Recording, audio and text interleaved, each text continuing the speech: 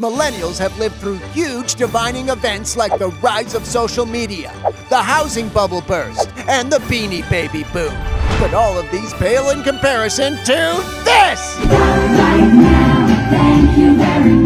The Spice Girls reuniting in song for Victoria Beckham's 50th birthday! Oh, OMG, it's like 1998 all over again! They got on stage, and it's only because it's Victoria Beckham. And they did Stop Right Now, thank you very much. It's called Stop. Hey, she knows all the words and she's gonna use them. But this is amazing!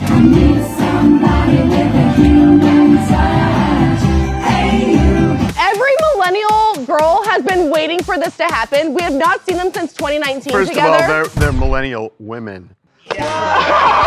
Anyway, tons of celebs showed up to Victoria's 50th birthday bash, like Tom Cruise, Gordon Ramsay, Eva Longoria, and Marc Anthony. Victoria Beckham, she's like the queen of England. Uh, Basically. Camilla wins on a technicality, but we get what you're saying.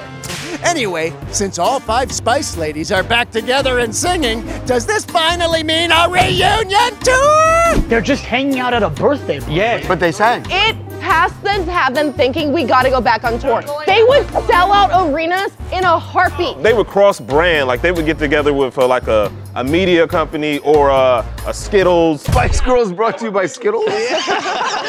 Taste the rainbow of spices. So, happy birthday, Victoria! Spice us out of here!